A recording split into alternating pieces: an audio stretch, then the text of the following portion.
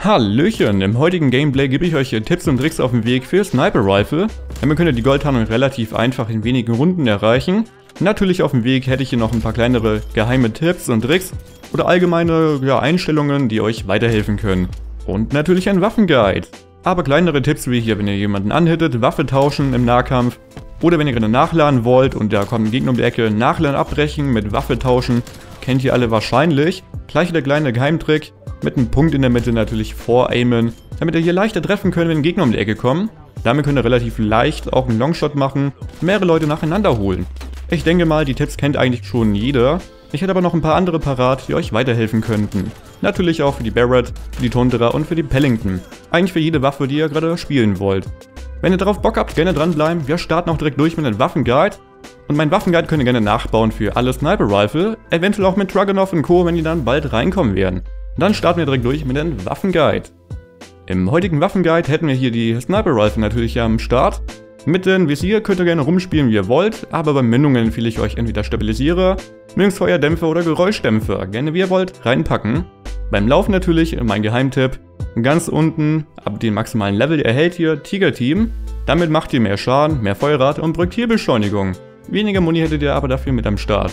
Ruhige Hand oder Markierer, beide total wichtig, Könnt ihr gerne mitnehmen. Und dann beim Griff. Mein Geheimtipp auch, nehmt ihr den Griff mit für mehr Nahkampftempo und Beweglichkeit. Bringt eine Menge, Menge Vorteile, gerade im Nahkampf, wenn ihr gerade jemanden schlägt, wenn er gerade weniger Leben hat. Und dann hier natürlich hier Schnelllader oder mehr Patronen, wie ihr wollt, gerne mitnehmen. Aber übertreibt nicht wegen der ATS-Time. Mit dabei Schlangenumwicklung, damit ihr schneller anaimen könnt. Und am Ende noch, damit ihr nach dem Sprint noch feuern könnt, Plünderer. Oder natürlich Marathon, je nachdem. Und ja, eine Schrotflinte oder eine Handfeuerwaffe wäre hilfreich. Gleich hier die Perks Paranoia, damit werdet ihr vorgewarnt, wenn euch jemand anaimt. Oder Daten weiterleiten für die Minikarte. Attentäter oder Spurenleser, damit könnt ihr auch Feinde markieren. Ganghau, Geist und kaltblütig. Gerne nachbauen, gerne probieren. Und viele von euch haben schon bemerkt, in Call of Duty Cold War Snipen ist nicht immer einfach, weil viele Leute machen leider nur Hitmarker, treffen nicht oder ja, wollen reinpushen wie ich und verkacken dann dabei natürlich. Ich kann euch ein paar Tipps auf den Weg geben, wie ihr damit hier leichter klarkommt. Natürlich der Sniper Rifle, die braucht ihr für die lange Distanz, bedeutet auf größeren Karten, bei Bodenkrieg, Feuertrupp oder anderen Modi. Und natürlich erhöhte Position auf dem Container, auf einer Wand oder auf einem Leuchtturm oben drauf. Habt ihr natürlich mehr Überblick über die Karte und könnt leicht eure Gegner treffen. Allgemein auf die Karte achten, auf Geräusche, auf Aufblinken, weil ihr werdet natürlich auch markiert, wenn ihr annehmt. Darauf immer achten und eure anderen feindlichen Scharfschützen eliminieren. Mein kleiner Tipp wäre allgemein, guckt immer euch die Karte an, wo habt ihr Deckung, wo könnt ihr in Deckung gehen, in erhöhte Position, damit ihr leichter Feinde treffen könnt. Und wo werden die anderen feindlichen Scharfschützen? Ja, die habt ihr natürlich auch mit dabei, die nerven auch ein klein wenig. Aber mit Übung könnt ihr natürlich Blutrünstig-Medaillen für eure Goldtarnung relativ einfach erhalten. Im Nahkampf, wenn ihr guten Griff könnt ihr einfach schneller schlagen und eure Feinde eliminieren. Und überwältigen natürlich. Aber im Allgemeinen, mein größter Tipp wäre, achtet auf euren Punkt in der Mitte, achtet auf eure Gegner und immer pre-aim ein klein wenig.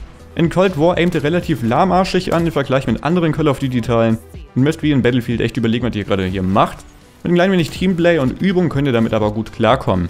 Allgemein einfach schneller anaimen, könnt ihr gut trainieren im privaten Spiel oder gegen Freunde. Oder ganz ehrlich, Atem anhalten. Länge anaimen und Atem anhalten ist keine Schande hier in Call of Duty. Viele wollen ja Trickshotten wie ich hier gerade ein klein wenig, mehr oder weniger. Aber ja, klappt halt nicht gut. Gerne mal ruhiger hier an die Geschichte dran gehen, Atem anhalten, anaimen natürlich, mit einem Scope, mit Zoom natürlich hilfreich, damit ihr die Gegner leichter erkennen könnt. Und dann Atem anhalten, abdrücken, Feinde eliminieren. Oberkörpertreffer und Volltreffer machen natürlich mehr Schaden. Und im normalen Modi werden die Waffen auch stärker, weil im Hardcore-Modi werdet ihr niedergeballert durch Sturmgewehre. Die haben komischerweise natürlich dann auch hier ja, mehr Effektivität auf der Distanz wie in der Sniper Rifle. Echt merkwürdig. Aber ja, Fernkämpfe-Medaillen, die könnt ihr relativ leicht bekommen, auf größeren Karten oder bei Feuertrupp und Bodenkrieg. Natürlich hier die Doppelabschüsse gehen relativ flott im Nahkampf, macht ihr für Rotpunkt rein oder ohne Scope und einfach reinpushen. Mit ein klein wenig Übung und mit ein klein wenig Glück bekommt ihr auch gute Runden hin.